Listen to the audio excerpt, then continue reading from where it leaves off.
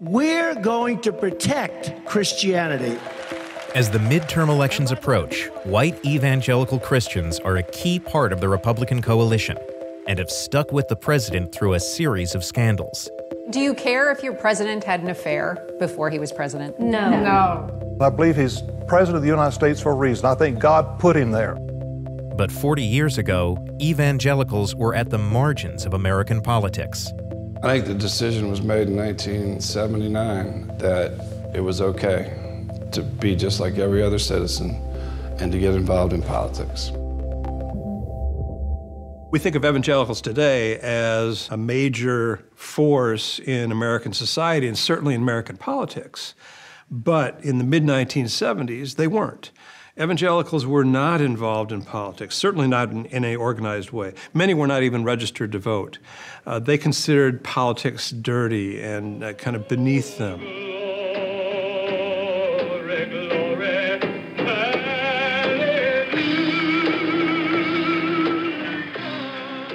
Until Jimmy Carter came along. Jimmy Carter's 1976 presidential campaign put faith at the center of the national conversation. He read the Bible every night, taught Sunday school, and had occasionally preached at Robert Maddox's church. Questions were coming up about what kind of religion he had, and he said, Well, I'm a born again Christian. The most important thing in my life is Jesus Christ. All throughout the press and everybody else wanted to know what in the world that was, what kind of magic, what kind of, of uh, charade would he have gone through? We have checked on the religious meaning, uh, meaning of Carter's profound experience. It is described by other Baptists as a common experience, not something out of the ordinary.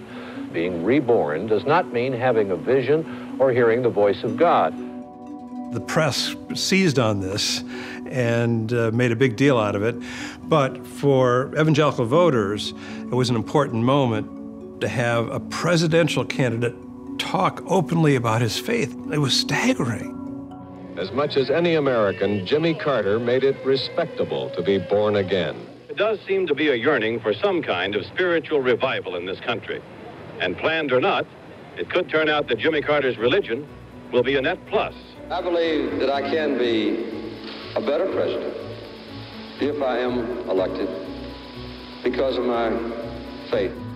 Carter would become known as the first evangelical president. Thank you very much for having me get here and being the president of the greatest country on earth. But two years into Carter's term, Reverend Maddox, now working at the White House, met with a group of preachers and got a surprising reaction. Immediately, from the floor, just erupted.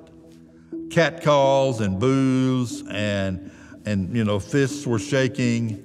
He has told us he's religious and he's not.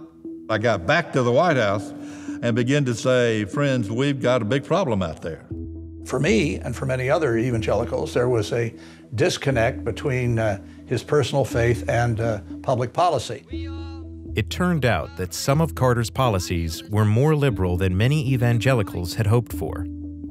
From a political standpoint, uh, they were turned off. One of his top aides was the woman who argued the Roe versus Wade case before the Supreme Court.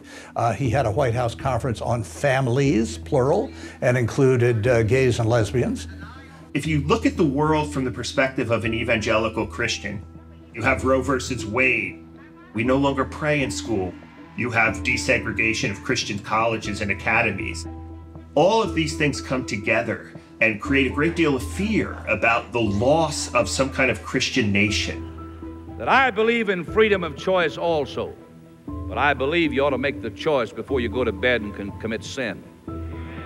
Reverend Jerry Falwell would become the most well known of a new movement of conservative preachers who wanted a strong defense policy abroad and traditional values at home.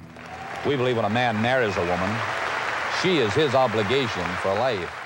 It was a movement that harnessed the power of television.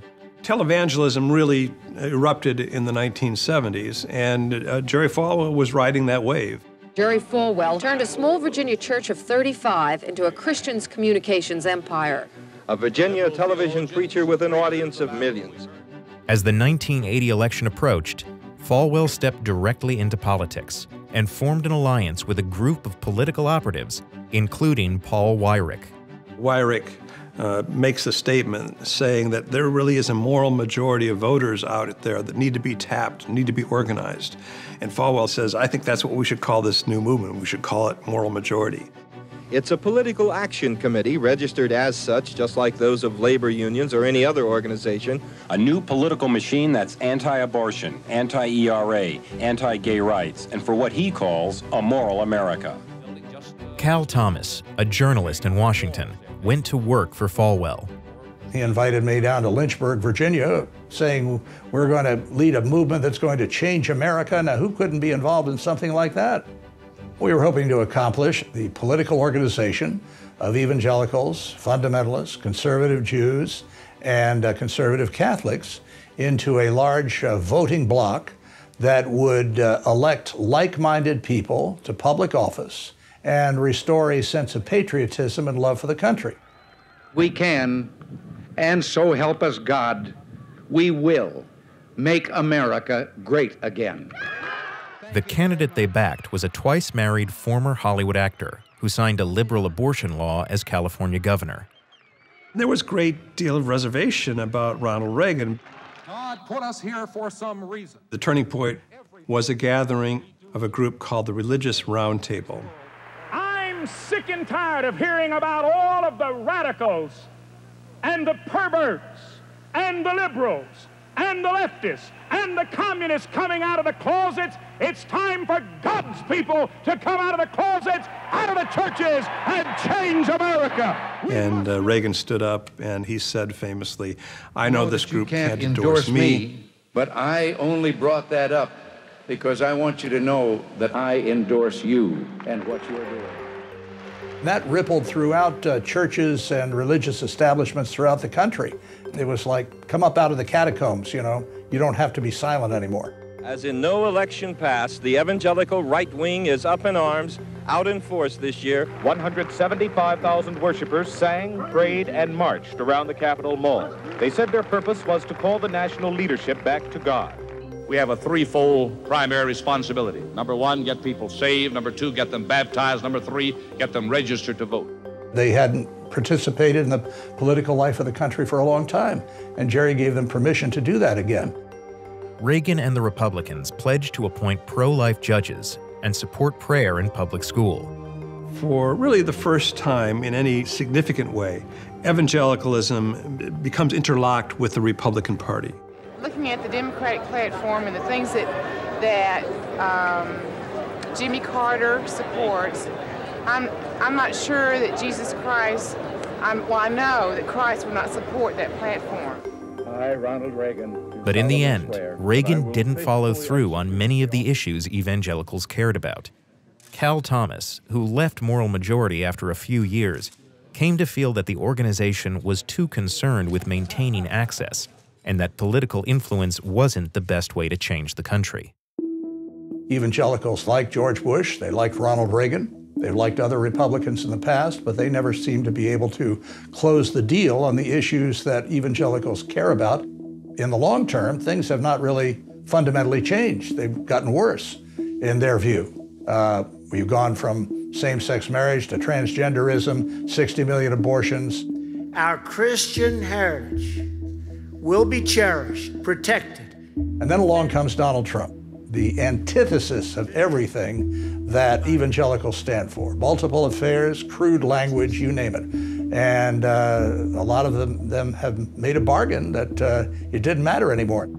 Dad explained that when he walked into the voting booth, he wasn't electing a Sunday school teacher or a pastor. It was just as tough a sell with evangelicals to get them to vote for somebody like Ronald Reagan, who had been married twice as it was for me to get people to vote and support Trump. Um, it, it was the same dynamic. It's like history repeated itself. Today, Jerry Falwell Jr. leads the university his father founded and has emerged as a prominent evangelical voice in support of President Trump. I think Jesus made it clear that you use your common sense and your God given brain to decide who will be the best political leader. I don't look to the teachings of Jesus for what my political beliefs should be. I don't think he wanted us to. Remember the attack on Merry We need somebody tough. We need somebody who has the right position on the issues. He promised to appoint strong conservatives to the federal courts at every level, and President Trump came through. He appointed. He's not only done everything he said he was going to do, but he's um, done more. The president is preparing to reveal his decision to recognize Jerusalem as Israel's capital. The announcement fulfills a campaign promise for President Trump and is popular among evangelical Christians. I think he's going to be, end up being our greatest president since George Washington. While Trump still has the support of more than 70% of white evangelicals, some worry that what started as a religious movement is now seen as just another political constituency the evangelicals are missing a greater point. If you're not careful, the political activism overwhelms the primary message, which is the gospel of Jesus Christ, the only thing that is able to truly change a life and by extension, uh, change a nation. And no politician can fill that role.